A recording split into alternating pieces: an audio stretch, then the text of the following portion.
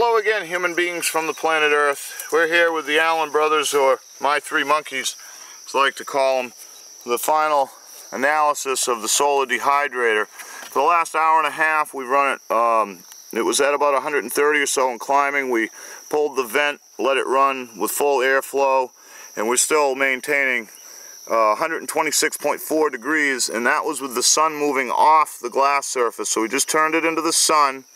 Uh, we do plan on putting this on a rotating base, but we needed to make sure the theory was going to work and the design and all that. So, and it is. Uh, this is great. We only really need 110, 115 for fruit. 126 is great. And it looks like some pieces have dried and fallen through the big grate, so um, some may still need more time. This is about, uh, let's see, four and a half hours in now, I think. And so we're going to open it up anyway, and the Allan brothers are going to try out their apple. Which kind of apple did you put in again, guys? Do you remember? No, golden delicious. A golden delicious, okay. So, check it out. Let everybody know. Let's let's show them the pieces so they can see what they look like. Once you choose your piece, let's bring it over to the camera. Okay, so that didn't brown too bad. Does it feel dry? Yeah. Not as dry as it could be, but how does it taste? So we know it, it's going to work, right? Uh-huh. Tastes good. It tastes good? Yep.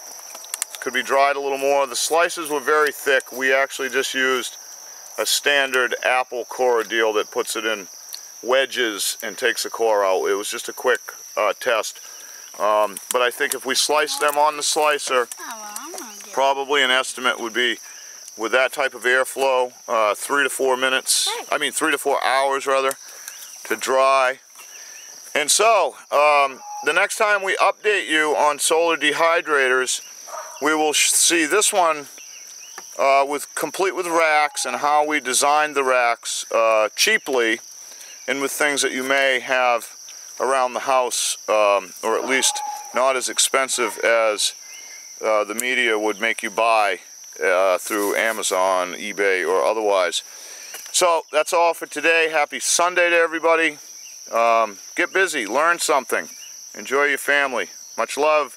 See you soon.